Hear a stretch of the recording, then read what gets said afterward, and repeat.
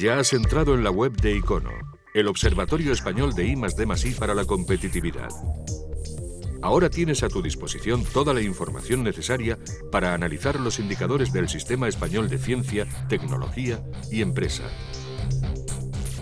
Es tan sencillo como hacer un clic en la pestaña de Indicadores, la tercera en la fila superior. Son la mejor guía para conocer los datos autonómicos nacionales e internacionales de gastos, presupuestos, inversiones, personal o resultados relacionados con la investigación, el desarrollo y la innovación. En este único espacio hay más de 250 indicadores clasificados y agrupados en siete familias. Los puedes encontrar y seleccionar en el margen izquierdo de la pantalla. Pero mejor comprobar con nosotros cómo funciona. Escogemos la primera familia y aparecen tres apartados, presupuestos, gastos y otros indicadores. Estos tres apartados, a su vez, se desglosan con información más específica. Por ejemplo, en el segundo apartado, nosotros hemos seleccionado el indicador gasto en I+D. Y así, obtenemos los resultados en un gráfico de barras desde el año 2000 al 2010.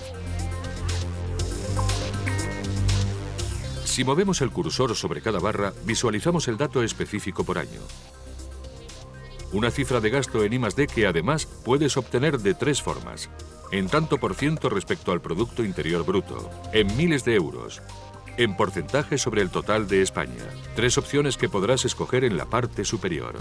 Además, a la derecha de la página se encuentra un mapa de España que te permite ver esos resultados por comunidad autónoma. Incluso puedes visualizar los de uno o varios de los países europeos o de la región del mundo que selecciones gracias a los iconos de la parte superior.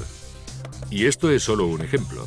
Las otras seis familias de la columna izquierda abren una ventana hacia un mundo de indicadores y posibilidades donde encontrarás la información por área geográfica y desglosada según el indicador consultado. También puedes trasladar esta información a tu propio ordenador de una manera muy sencilla. En la barra de herramientas, sobre la línea que encuadra los mapas, se localizan los iconos para exportar datos. Haz un solo clic y estará en tus manos.